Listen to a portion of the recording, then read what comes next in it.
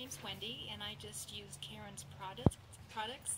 I had never had my teeth whitened before, so I was leery of having it done.